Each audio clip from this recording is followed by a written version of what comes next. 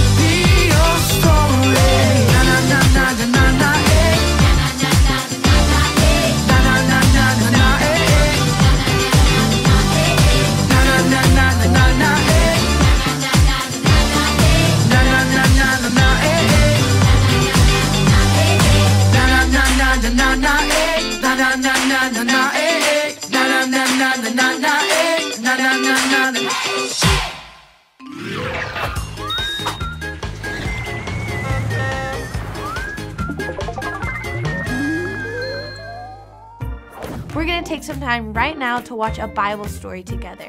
And like I said before, today we're going to be looking at the story of creation. So let's check it out. Stories of the Bible Creation In the beginning, God created the heavens and the earth. The earth was empty, formless, and dark. But the Spirit of God was there. On the first day, God said, Let there be light. And God saw that the light was good. Then he separated the light from the darkness. God called the light day and the darkness night. On the second day, God said, Let there be a space to separate the waters of the heavens from the waters of the earth. God called the space sky.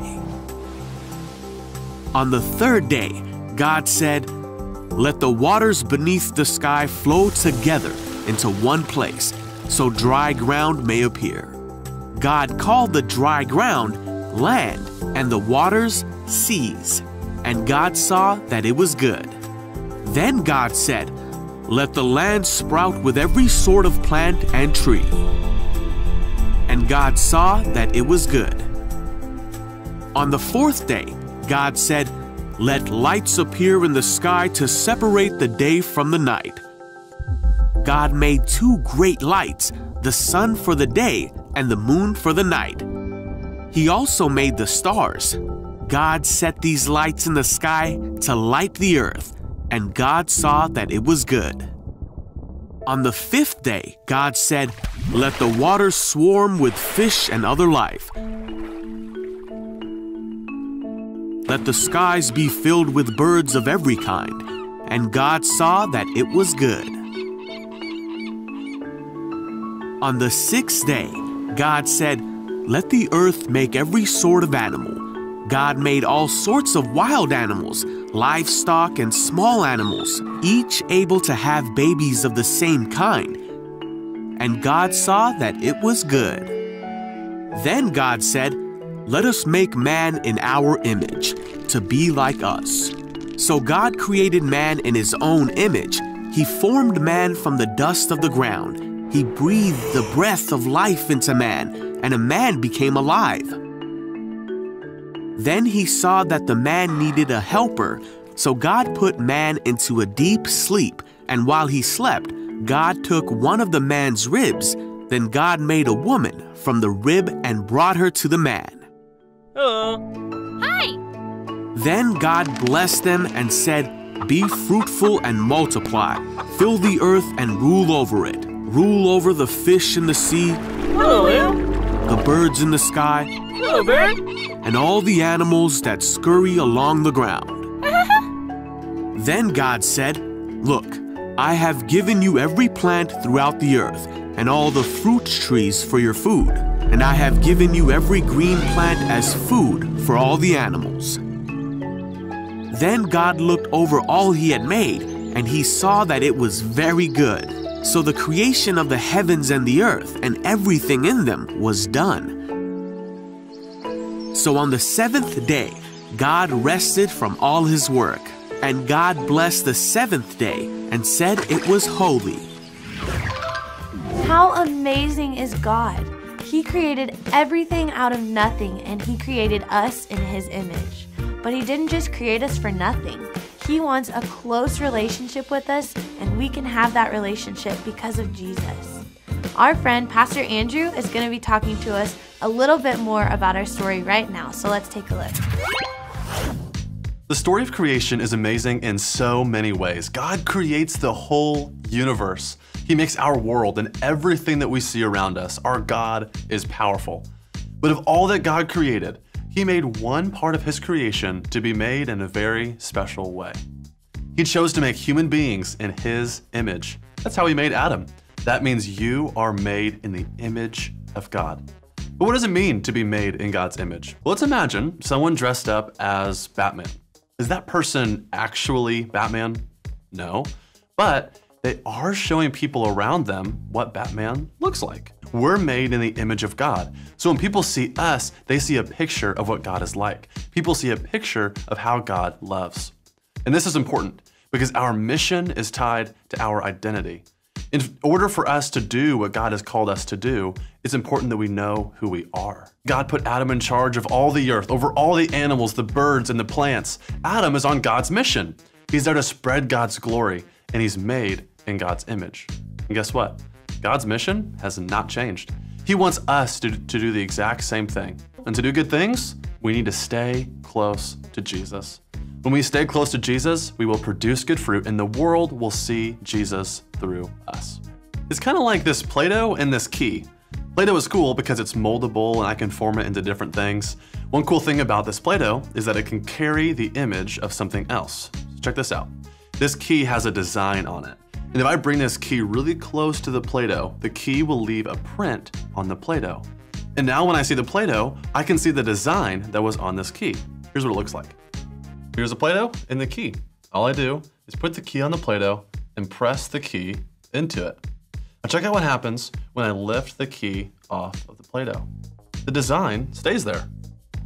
Because we're made in God's image, people around us can see Jesus through us. And that means every day we can reflect Jesus to others. We are created to carry God's image, to be molded and formed into the image of Jesus. So, how do we make sure that we are carrying or reflecting the image of Jesus?